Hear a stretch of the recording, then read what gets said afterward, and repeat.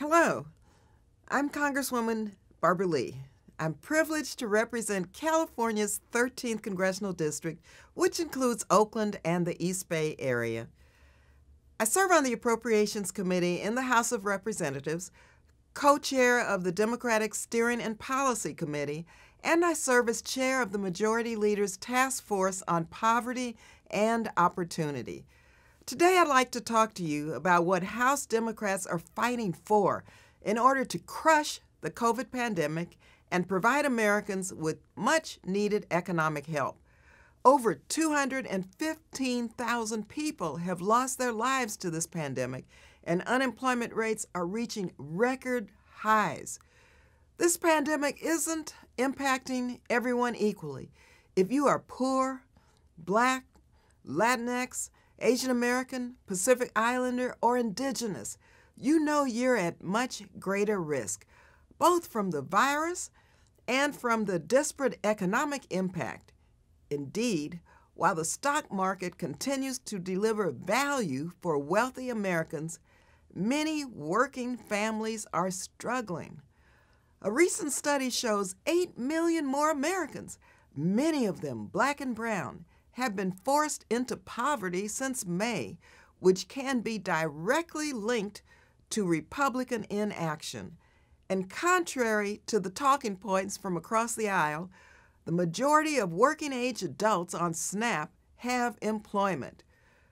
This pandemic has made an even bigger impact on America's working poor. American families are in desperate need of leadership. The Trump administration has utterly failed in its response to this crisis. The president and Mitch McConnell have stalled negotiations, played politics with people's lives, and refused to compromise. House Democrats have risen to the occasion and passed two pieces of legislation to achieve two goals save lives and assist working people and their families, especially for our vulnerable communities. This pandemic has had a terrible impact on communities of color. Black people are dying at two and a half times the rate of white people in the United States. Indigenous and Latinx people are both 50% more likely to die from COVID than white Americans. Mortality rates within the Asian American and Pacific Islander communities are also so high. Between January and July, the AAPI death rate rose 35% compared to an increase of 9% for white Americans. Alongside members of the Congressional Black Caucus, the Congressional Hispanic Caucus, and the Congressional Asian Pacific American Caucus, our Native American Democratic members, and my House Democratic colleagues, I have worked diligently to ensure that this does not go overlooked. We are fighting to ensure the COVID 19 testing and tracing efforts, which were included in the HEROES Act, are made specifically available for medically underserved communities and communities of color.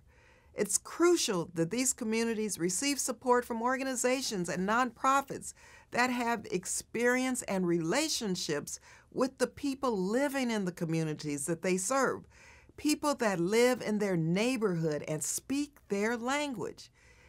But we know that this is an economic crisis just as much as a public health crisis. Families need direct payments, unemployment insurance, small business loans, and much more to weather this catastrophe. As more time passes, the relief millions and millions of Americans have relied on to keep them afloat has dried up. And the White House and Senate Republicans have looked the other way. One way to reduce poverty is to expand the child tax credit and the earned income tax credit, which provides critical support for working families. However, Republicans and the Trump administration would rather continue providing tax benefits for some of the wealthiest in America than give relief to those most in need. The latest White House coronavirus relief proposal takes one step forward, but two steps back. It is not only insufficient in many cases, it would make matters worse.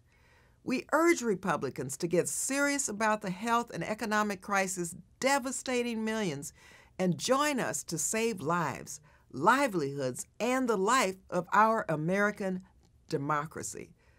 Thank you for listening, and please continue letting your representatives know how you feel. We are in this together.